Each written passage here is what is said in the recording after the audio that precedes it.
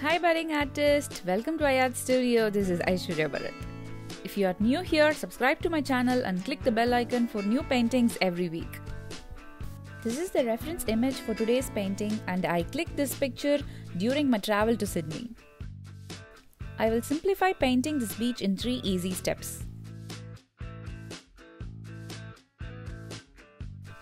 The first step will be to paint the base layer of the cliff top and the clouds.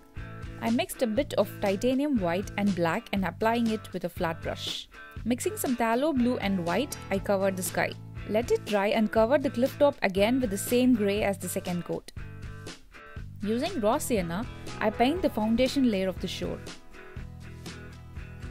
Mixing cerulean blue and monastral green, I paint the turquoise colored water, darker on the left side and it is getting faded on the right side.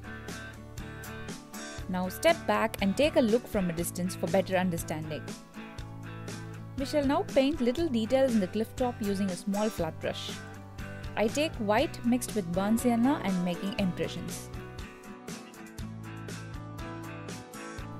Using the same brush, I apply sap green here and there. Add a second coat of water and let it dry completely before painting the waves.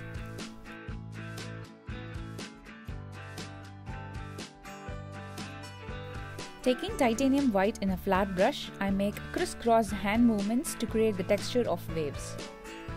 Some waves are high and some others are about to rise, so make wave effects wherever necessary. The waves in the far distance should be subtle enough. Now we paint the water splashing against these rocks in distance. Using a small round brush, I paint dotted lines and the tiny effects that bring life to the painting at this stage.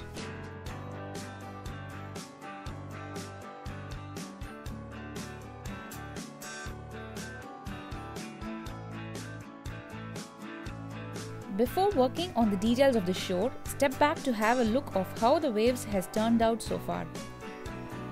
Let's begin to highlight the sand with titanium white in a small round brush. Move your brush in different directions and it should not be uniform. Keep adding effects until it turns realistic, but don't overdo it.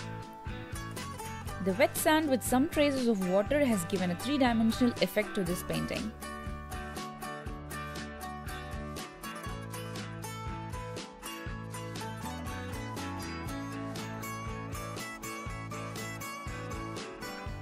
Looking back at our reference image, we now paint the surfers in this beach. First, draw the outline of a man taking his surfing board and walking.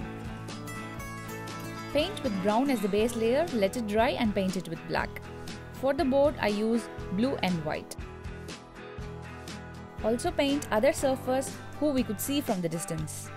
After making final corrections wherever necessary, sign your artwork.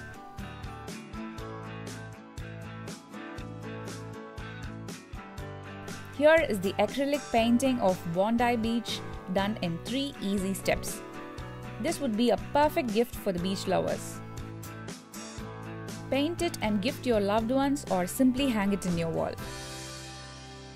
Subscribe to iArt Studio for amazing paintings. See ya!